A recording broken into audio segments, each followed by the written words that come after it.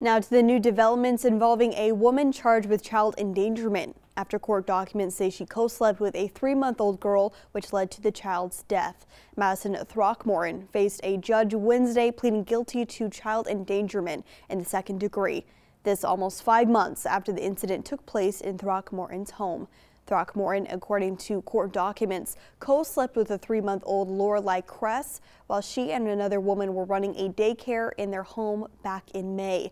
Lorelai's mother, Krista Richardson, says the misdemeanor charge of second-degree child endangerment Throckmorton is facing isn't enough because her baby died in Throckmorton's care. We spoke to Richardson yesterday before the hearing. We're hoping that the right people, you know, can see and hear our voices and try to be the voice for my daughter and hopefully reach out to someone, even one person that's high enough up to get them to change their uh, mind or go against the prosecuting attorney's plea. We're not understanding how an infant's life is only worth two days in jail or two years of probation.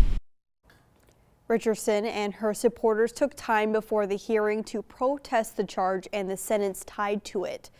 The, in court, the judge accepted Throckmorton's guilty plea, but decided to push back sentencing to give Richardson and her family more time to address the court.